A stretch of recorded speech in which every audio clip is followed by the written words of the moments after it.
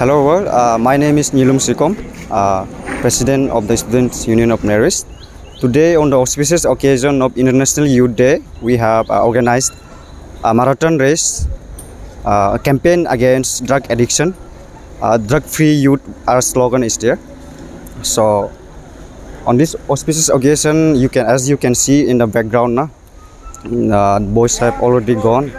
So our motto is that only uh, to uh, to organize an awareness nah, uh, for for the youths to be drug free.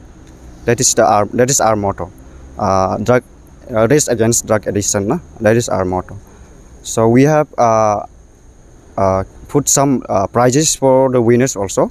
The first prize for the winner is uh, this one. Uh, for male category, it is 5k, uh, 5,000, and female category also it is 5,000 with uh, trophies and case. Uh, sorry, uh, this one uh, certificates. Na, it will be issued from us from our side.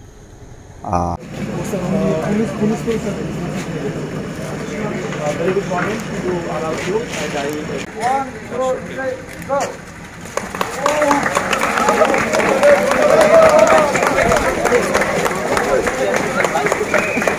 to receive the reporters from Doimukh News.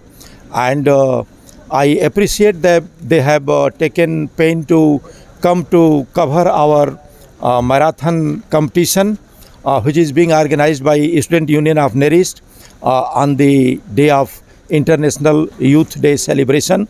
And uh, you know that the whole country and even beyond country Indian people are celebrating Azadi Ka Amrit Mahotsav.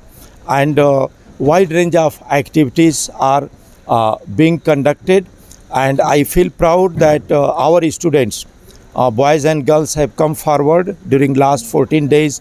They have been doing wide range of activities uh, including uh, Har Ghar Tiranga cleanliness drive green campus. And today they have marathon. They will also have uh, competition of patriotic drama. And many more activities are yet to be done so I feel proud of our students uh, who are significantly contributing uh, in celebration of Azadi Ka Amrit Mahotsav and I appreciate the Doimukh News for covering uh, our events of the students at Northeastern Regional Institute of Science and Technology. Thank you. One, two, three.